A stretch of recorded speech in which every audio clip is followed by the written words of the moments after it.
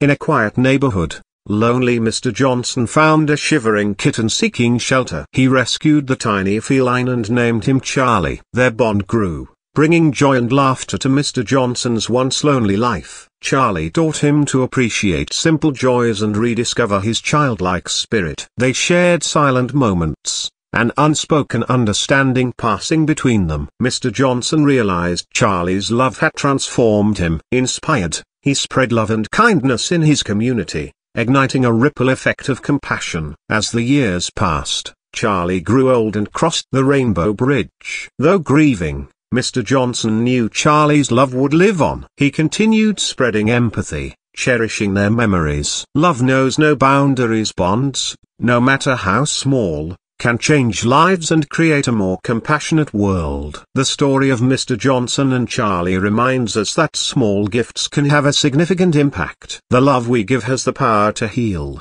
uplift, and transform lives, including our own.